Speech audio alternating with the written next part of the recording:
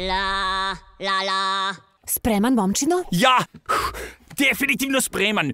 Svi će u ovom gradu imati priliku da budu zvezde u takmičenju pevanja. Ova scena će da eksplodira sa prasećim velikim Yo, praskom. Humpty, you're really funny looking. That's alright, cause I get things cooking. Come, my lady, come, come, my lady. You're my butterfly, sugar, baby. Oh my gosh, look at her butt. Oh my gosh, look at her. Dobro ste? O, jesam, dobro sam, hvala.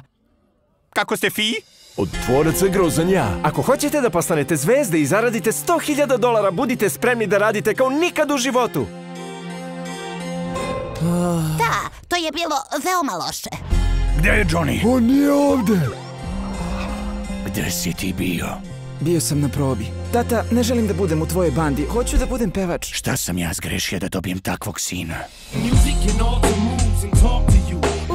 Pevam, ali mnogo se uplašim. Ma hajde, budi samouverena! Zar ti ne želiš ovo? Stigla sam. Šta se ovde dešava?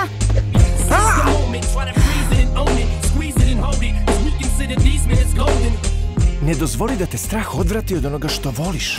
A znate li zašto je dobro dotaći dno?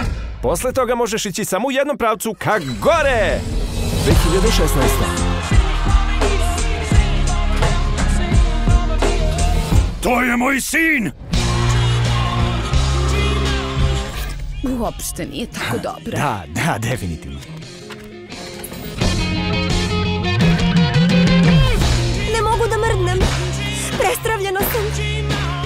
Samo pevaj.